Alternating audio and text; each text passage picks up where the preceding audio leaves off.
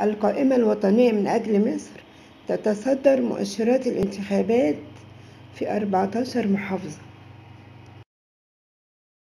السلام عليكم ورحمة الله وبركاته.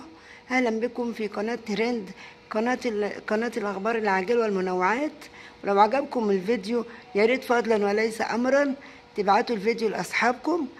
وتفعلوا زر الجرس واللي بيشوفنا لأول مرة يا ريت يشترك معنا في القناة حتى يصلكم منا كل جديد. ويلا بينا على التفاصيل.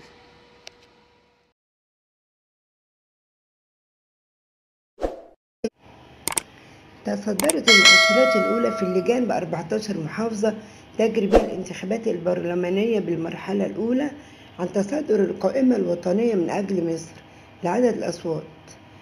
بيليها قائمة نداء مصر. وحيث تتنافس القائمتان في جنوب في جنوب ووسط الصعيد بالإضافة لقائمة غرب الدلتا.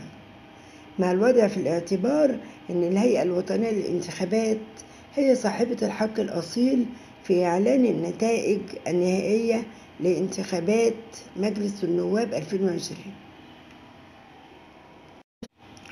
وبدأ القضاة في فرز الأصوات باللجان الفرعية بحضور مندوبين عن المتنافسين.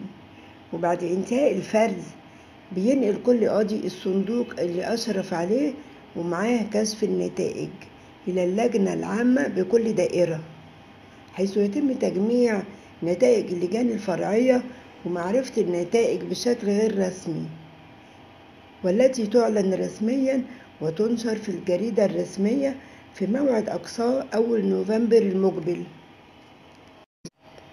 وفي النظام الفردي يفوز المرشح إذا حصل على الأغلبية المطلقة وهي 50% زائد واحد من الأصوات الصحيحة. وبخلاف ذلك يخوض الحاصلين على أعلى الأصوات الصحيحة. جولة الإعادة ويكون عددهم ضعف المقاعد المخصصة للدائرة أي بمعدل مرشحين لكل مقعد. وبتجرى جولة الإعادة بالخارج أيام 21 و 22 و 23 نوفمبر المقبل وفي الداخل يومي 24 و 25 من نفس الشهر. بنفس ال 14 محافظة وهي الجيزة والفيوم بني سويف المنيا أسيوط سوهاج قنا الأقصر أسوان الوادي الجديد الإسكندرية البحيرة ومطروح تمهيدا لإعلان النتيجة النهائية للمرحلة الأولى. بفوز 200 ور... 200 عفوا بفوز 284 نائبا فردي وقوائم في موعد أقصاه 30 نوفمبر المقبل.